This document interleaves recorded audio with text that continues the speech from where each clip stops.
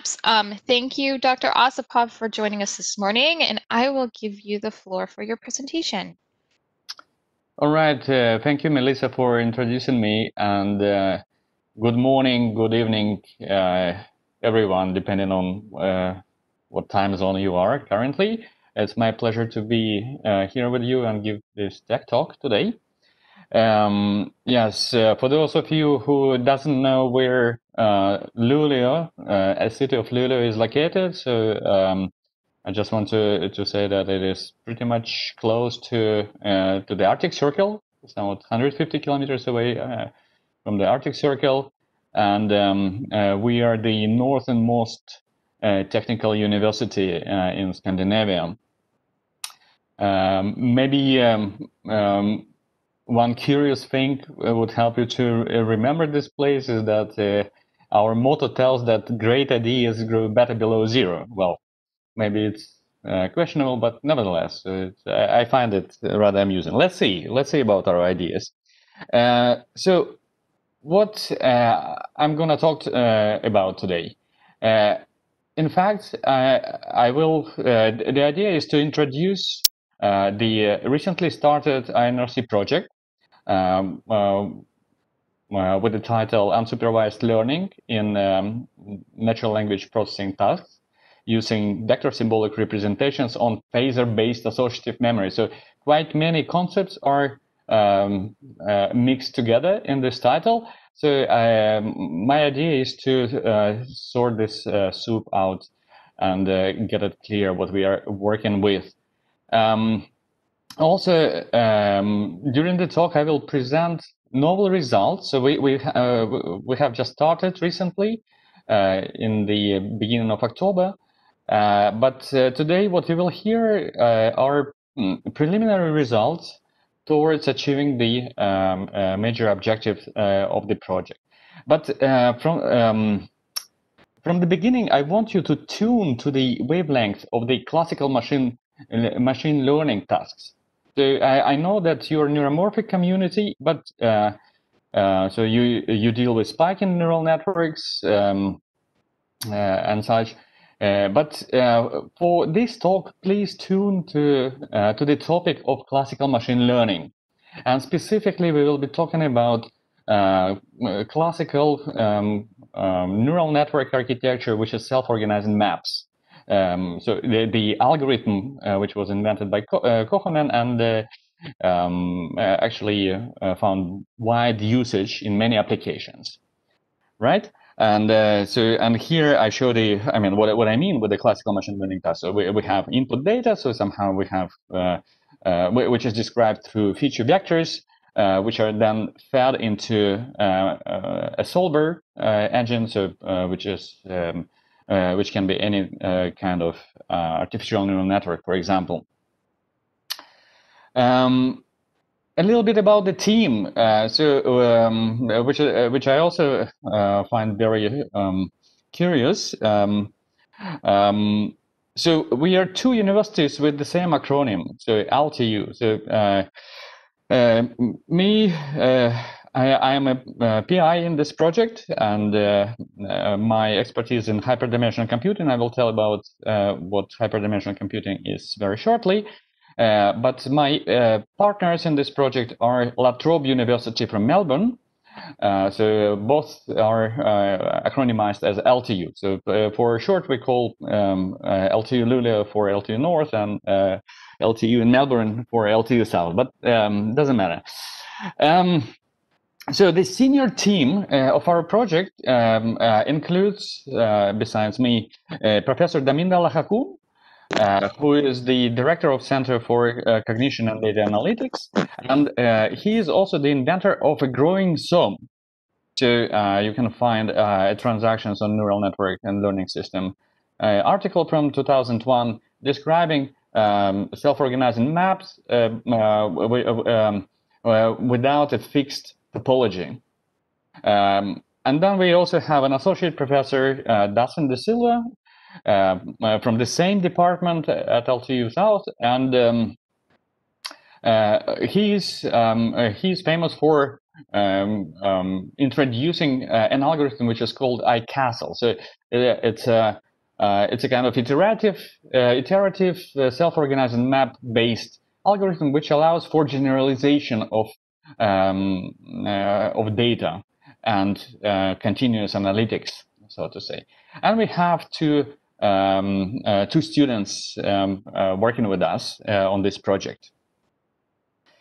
Um, the goal of this project. So um, let me show this slide before I uh, I will talk about the details, but as, as the talk continues, you will understand uh, all these uh, mappings. But uh, I just want to make a statement that uh, the overall goal, the main goal uh, of the project is to investigate a suitability of a framework which is called vector symbolic architectures. I will introduce what, what this is on the next slide. Um, as a programming abstraction for neuromorphic hardware. So uh, what, I mean with uh, with this is that the algorithm can be um, uh, implemented using a very intuitive kind of programming approach. Which uh, so uh, an example uh, you can see here is this equation um, above, which apparently is the um, is the update mechanism for for a self-organizing map, as I will tell later on. and uh, but then, so um, uh, so when expressing a certain algorithm in terms of vector symbolic architectures, so um, uh, it, it, would be possible to to map it to specific um, uh, to specific components, hardware components of neuromorphic hardware. Um, and um, yeah, uh, in this case, the, the idea is that the programming will become somewhat easier and more um, available to to to uh, programmers who do not want to deal with the details of uh, uh, spikes and uh, neurons. Um, right, uh, and we will showcase this goal um, um on the example of self-organized maps, as I, as I have already mentioned. Um, so uh, the starting point for this project uh, is an implementation of, uh, of an associative memory, which is called threshold phasor associative memory. Uh, so, uh, so here you see uh, the title of the article. So I will not go into details of the implementation of TPAM, but in short, um, so this mechanism allows to store patterns like M patterns of high dimensionality. So like uh, several hundred um, neural positions, so to say. Um, and then, um, so, uh, so, so, this, um, uh, as the talk continues, I will also refer to these uh, patterns as high dimensional vectors or hypervectors for, for short. So uh, in the case of TPAM, so these hypervectors are uh, sparse complex patterns. And uh, the article suggests, uh, or uh, uh, so the, the, mechanisms allow us to map uh, the complex domain to the temporal domain. And basically, so there is a realization on spiking hardware of this mechanism. But again, so th this is the starting point. and as the talk continues, I hope you will it will become clear um, why uh, this specific uh, implementation of this mechanism is important uh, in the context of uh, our project. But first thing first, um, vector symbolic architectures. Um, I don't know how many of you are familiar with, uh, with this um, uh, research area, um, or it's rather a computational framework but um, um, so we have a community approximately um, maybe 100 people uh, worldwide uh, actively uh, developing this novel unconventional computational framework. So th this is a framework for uh, distributed information processing, as you will see um, uh, on, on several examples later on. Uh, so in this framework, the um, so just few fundamentals so that we all st um, stay on the same page. so we have elementary symbols, which are uh, random vectors drawn from uh, a high dimensional space. Uh, and then we have a set of uh, algebraic operations for uh, manipulating these vectors. And then the specifics of vector symbolic architectures that the vectors are interpreted as a whole through a well-defined similarity metric. So, for example, if our space is bipolar, so that uh, on each position of a vector, uh, we, we have either minus one or one, well, we, um, uh, I mean, it, it's an analog of, uh, of a binary uh, representation, and we have n positions like this, and n normally is large, maybe 1,000 elements. Um, then, uh, so um, in a given task, we have some uh, set of initial symbols, ABC, for, for which we generate random uh, high-dimensional vectors. And then, uh, so we have three operations, uh, uh, a set operation, which is element, element-wise summation, a binding operation, which is element-wise multiplication, and ordering operation, which is a permutation or a cyclic shift. And as I said, so, um, so everything in vector symbolic architectures framework is interpreted through uh, a well-defined uh, similarity metric, which in this case, or in many, uh, uh in, uh, in, the majority of cases, we, we use um, cosine similarity or a dot product to, um, to, to evaluate the results. Um, yeah, and th there are some um, particular properties of uh, high-dimensional representation and high-dimensional algebra, which is illustrated also uh, on this uh, histogram over here. So th the higher is the dimensionality, the most um, uh, more likely is to randomly generate uh, or, uh, an orthogonal vector. So a vector for which cosine similarity would be very low. and then, so just again, very briefly, we don't have time to go into details of this um, uh, of the fundamentals, but uh, basically summation, the set operation results. Uh, so the, the result of the set operation uh, uh, is yet another vector uh, which preserves the similarity of the original components. the binding operation, which is element-wise multiplication, produces as a result a random vector compared to uh, to the uh, vectors uh, vector components, and the same goes for for the permutation as well. Um, so now, how can we use this um, um, framework to, um, for useful um, to, to, implement useful functionality? Uh, before doing that, I, I must say that, uh, well, here on this slide, I, I exemplified random vectors drawn from plus minus one, so from a bipolar high dimensional space. Um, same properties and and, uh, um, and same operations are defined for uh, different numerical systems. So uh, in each position, you might have, for example, real numbers or complex num uh, numbers. And essentially, this complex domain representations uh, was um, utilized to, to implement this uh, TPAM associative, uh, associative memory on spikes. But again, so this is not the focus of this particular presentation. So what is important is that we have random vectors and a set of operations for manipulating these random vectors. So what can we do with these random vectors? Um, so the uh, probably the uh, best feeling you can get um, uh, from uh, uh, from an example of representing different data structures. Uh, so uh, this um, uh, framework is very expressive in uh, in uh, representing different data structures in a distributed way. So what do I mean here? So for example, if you have a sequence, uh, if you want to represent a sequence of symbols A, B, and C, so what you do, you generate random vectors for A, B, and C, and to um, uh, to encode the position, so you use permutation. So the, uh, uh, that's what is shown with the with the first equation, and then you add them together to form a set. So in this case, S is a, a hypervector. So the the result of these three operations. Um, uh, it's a hypervector of the same dimensionality, which uh, describes an ordered set, so a sequence. So in a similar fashion, you can uh, represent other data structures, like graphs of different kinds, cyclic, acyclic, so like a tree, uh, uh, for, uh, for example.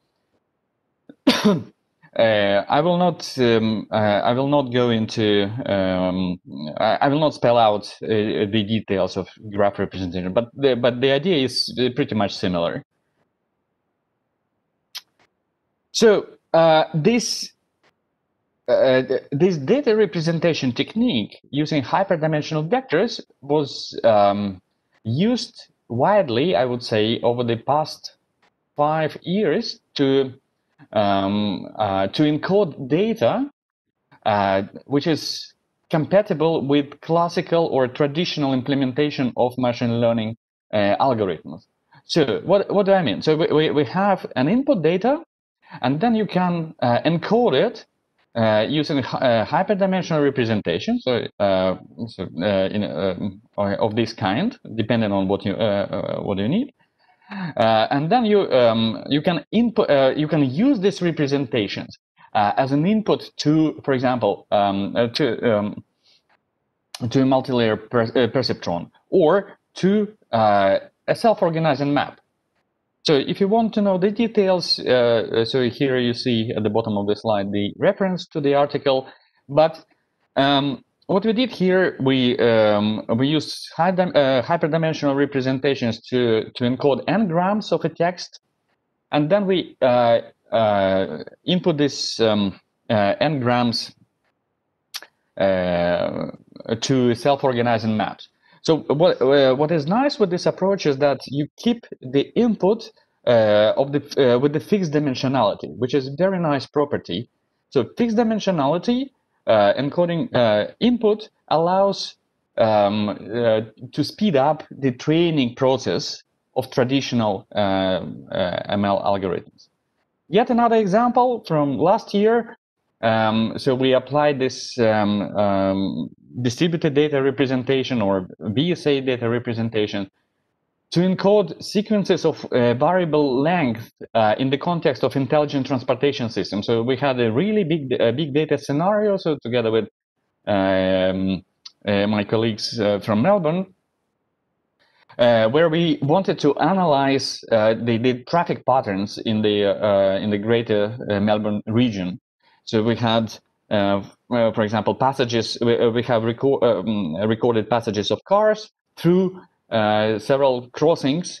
So these crossings were uh, so the, the, traces were of variable length, and encoding these uh, um, these sequences using vector symbolic architectures allowed us to to uh, speed up the training process and uh, of traditional uh, algorithm. But again, so this is just an example that um, so far VSAs are were used to encode data, to represent data.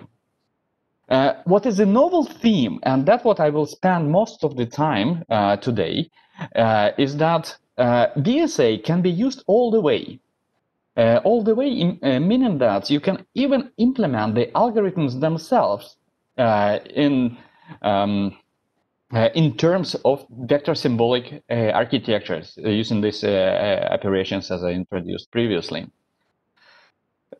so uh, and uh, the uh, specifics of this uh, of this implementation is that computations will be done in superposition. You will uh, you will uh, understand what I mean um, with this um, pretty soon when I when I will trace the functionality of um, trace the implementation of the self-organizing maps.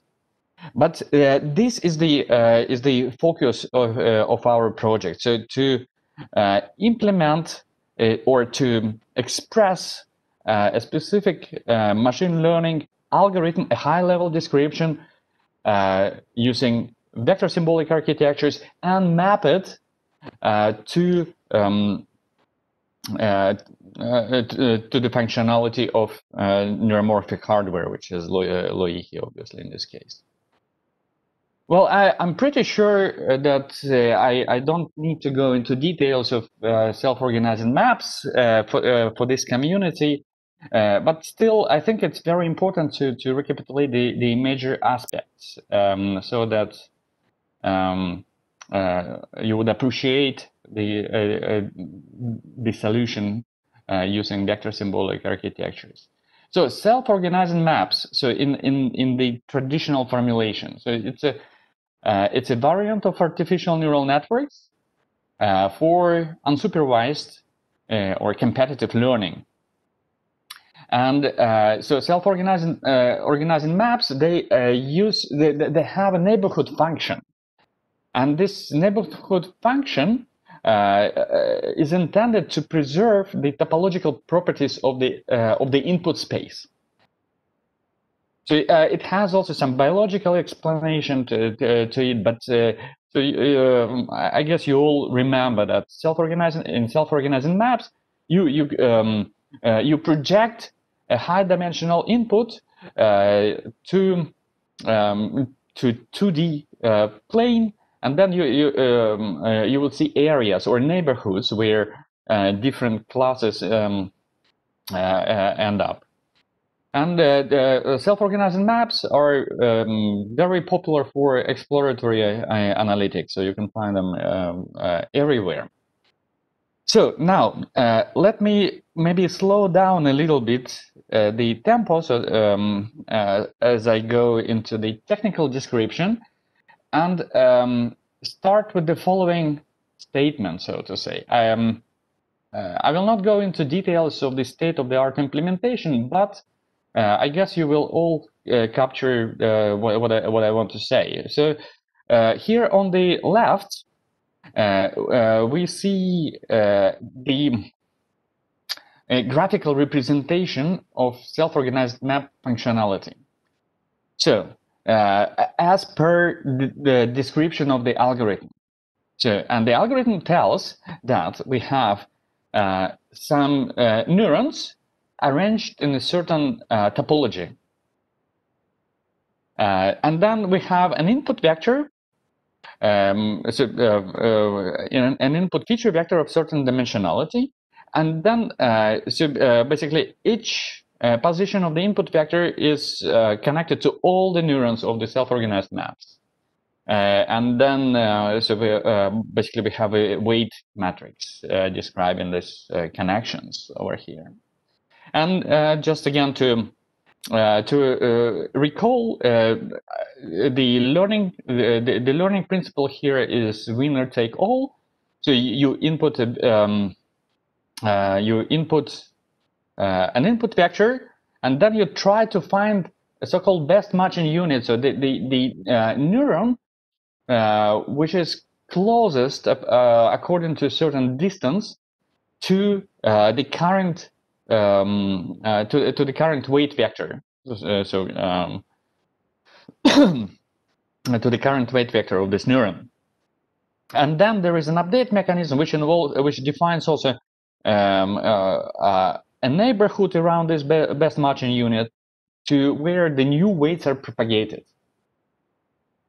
So I guess um, uh, you all are familiar with this kind of description.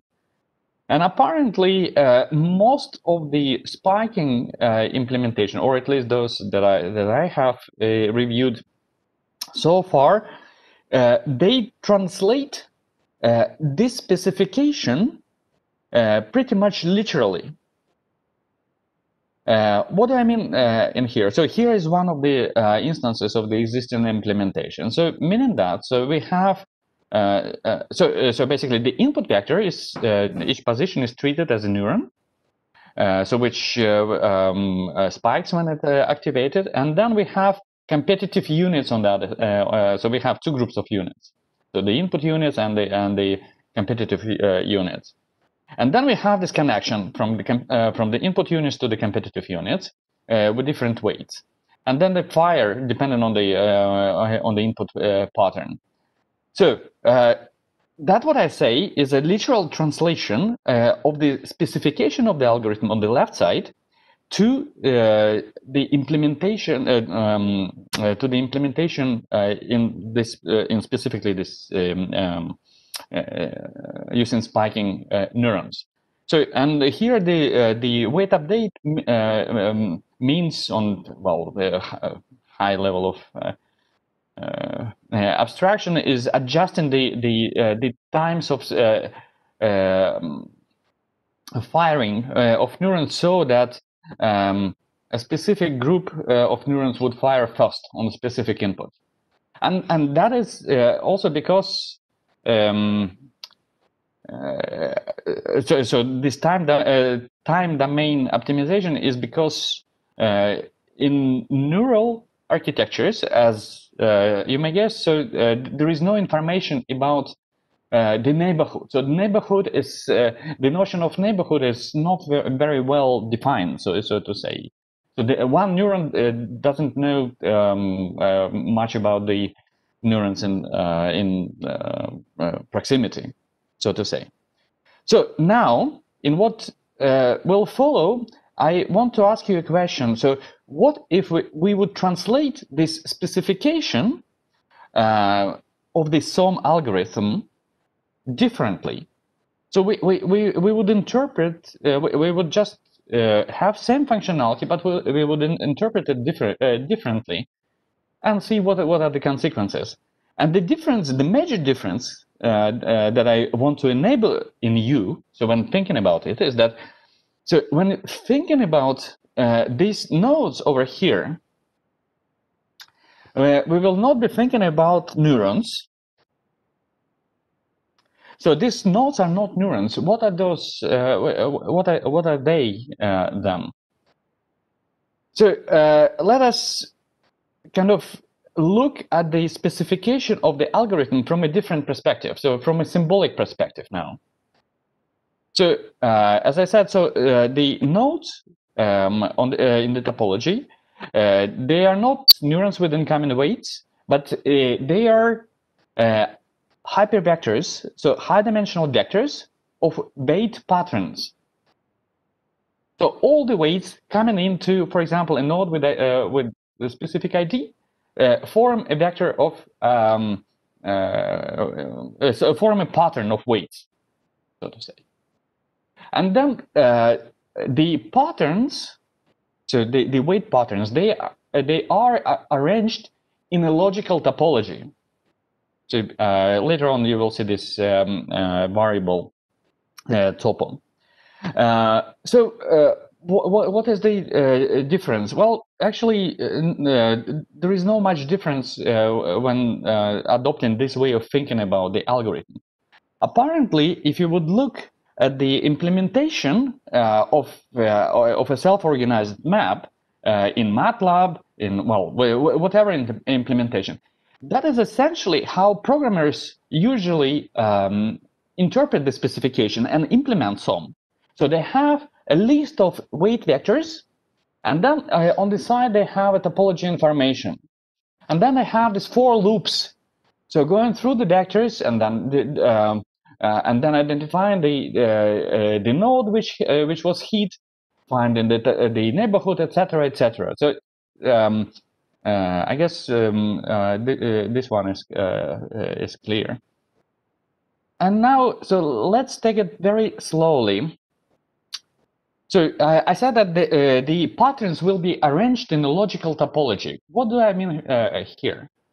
Um, so now we will assign a random vector hypervector to to each node. Well, now uh, you see the symbolic notation here, but uh, uh, think about the symbolic notations as randomly randomly generated hypervectors of certain uh, dimensionality, say 1000, or I actually will present the results with a dimensionality of 10,000. Uh, but doesn't matter. So you, you generate them uh, all uh, in advance. Uh, and then uh, you need to define a neighborhood. you need to define a neighborhood. And the neighborhood will be a set, an unordered set of IDs which are um, uh, uh, of the closest nodes on this logical topology. So, for example, the neighborhood of node 1, so the, the uh, one degree neighborhood, would be uh, a sum of two hypervectors um, um, for ID8 and ID2. Right, and uh, in general, so uh, so any neighborhood will be just a sum of all nodes around a chosen one.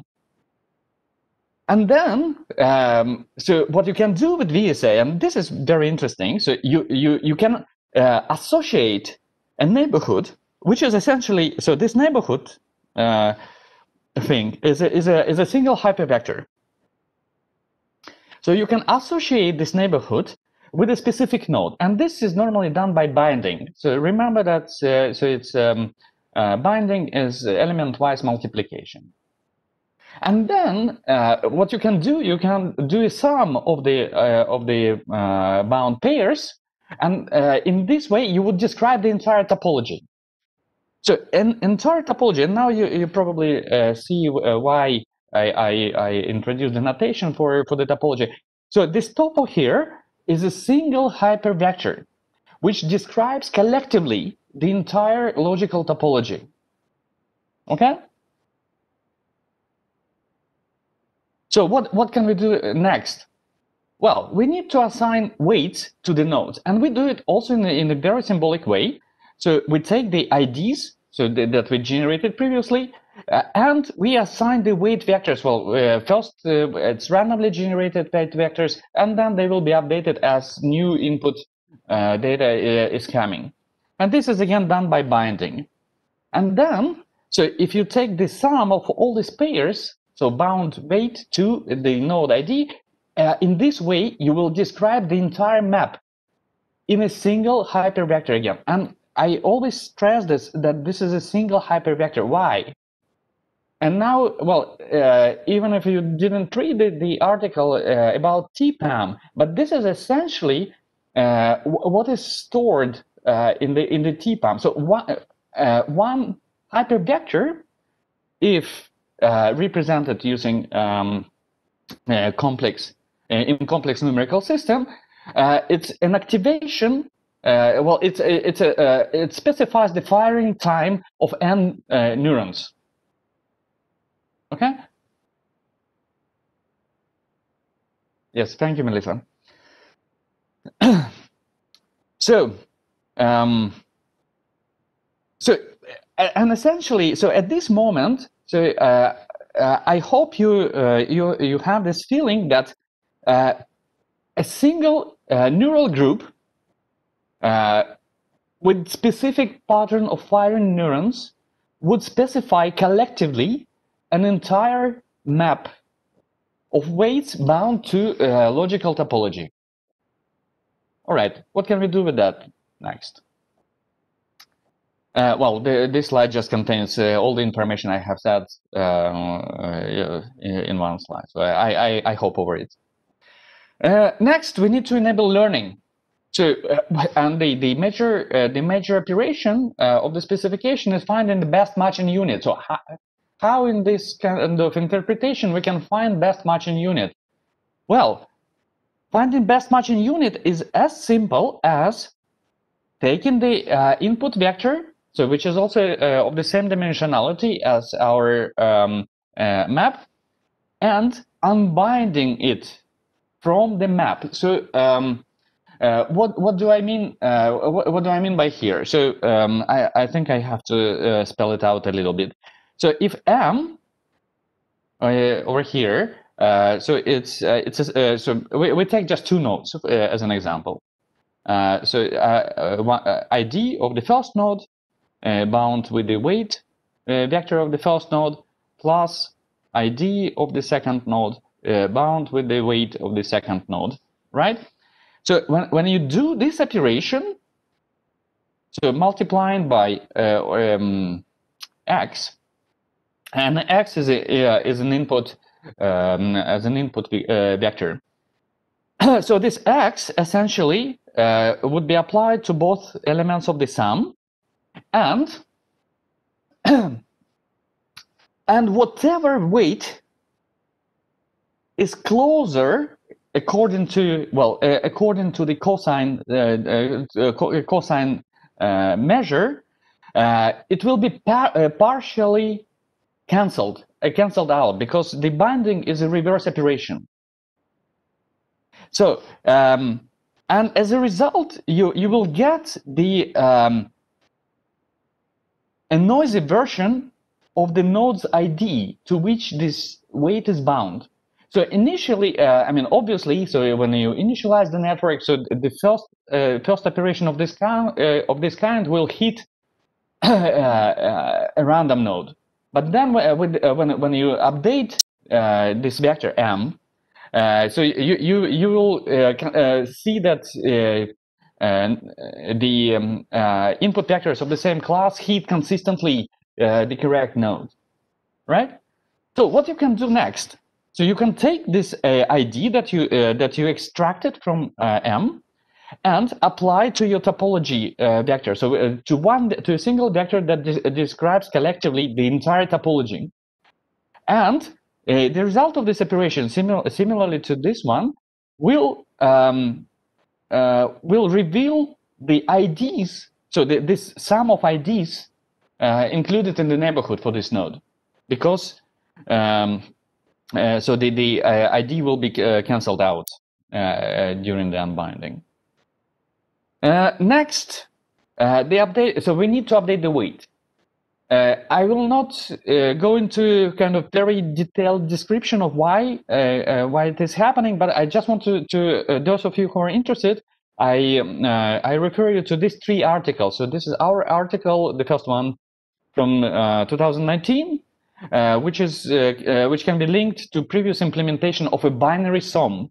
So uh, a SOM implementation which is designed to handle binary inputs and to be implemented on FPGAs on a digital hardware.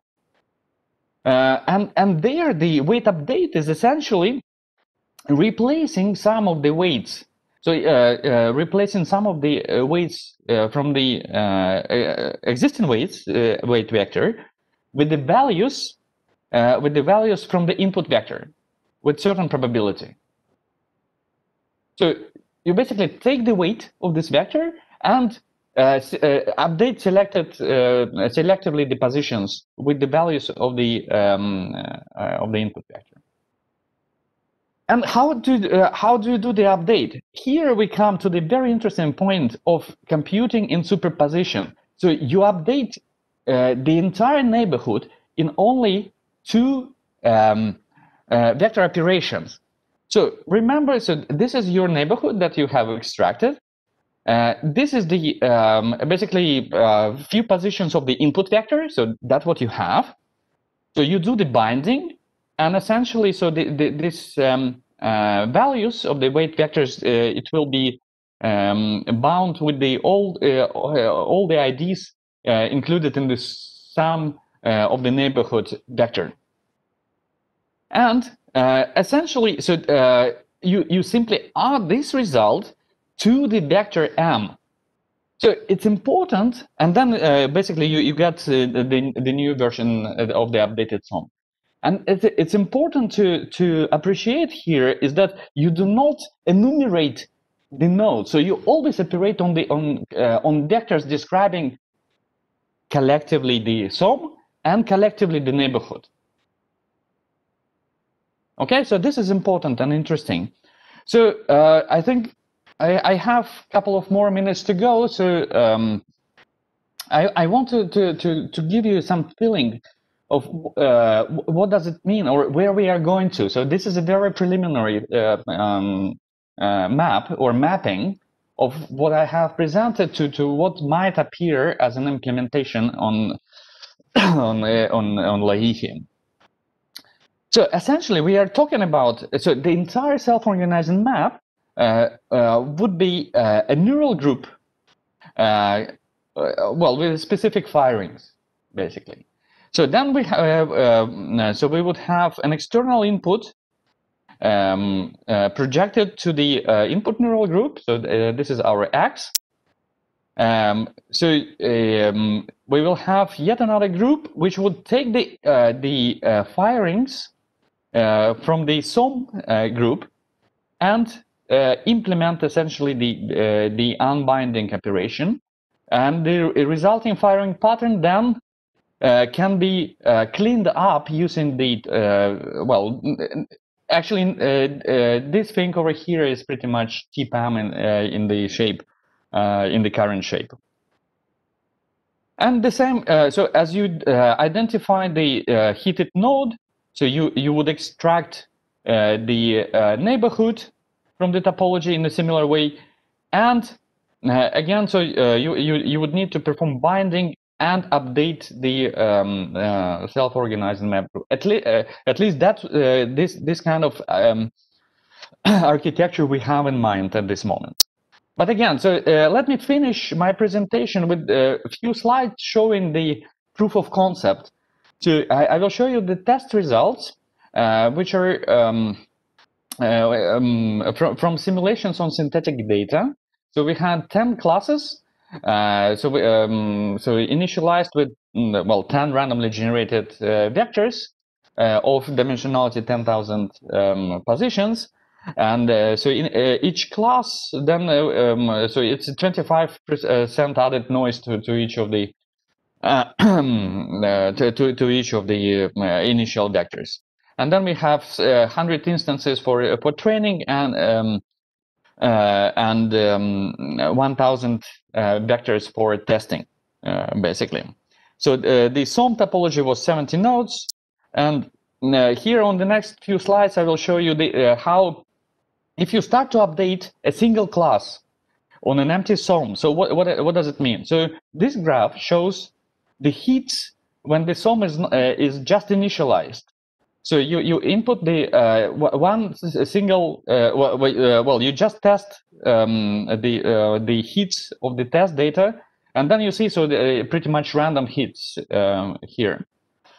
After a few iterations, so you, uh, and the update uh, according to the procedure I described before. So you see that certain clusters start to uh, emerge, so that they start to to to, to, attract um, the entries the, um, of this particular class in a certain neighborhood. And basically skipping few, a few slides. So in 10 iterations, so most of the data are concentrated in the neighborhood uh, of uh, four nodes, as exactly as we uh, as we um projected. And uh, so finally, so the, uh, this is the final graph I want to show. So it shows the result of the um, um, of the complete training process uh, of um, of a SOM with 17 nodes, 10 classes, 20 iterations, uh, and uh, so uh, the different um, with the proper learning rate adjustments and neighborhood adjustments on each iteration. So you see that at the end, so all classes um, they um, found their bean in the uh, uh, on the uh, 17 nodes neighborhood. So the, the, the accuracy on the test data was very close to the 100% in this case. So finally, I, I want to to, um, uh, to conclude with the kind of to-do list. So first of all, I, I presented uh, a novel approach to, uh, to to implement a specification of a classical machine learning algorithm, which is suitable for purely in-memory reali uh, realization.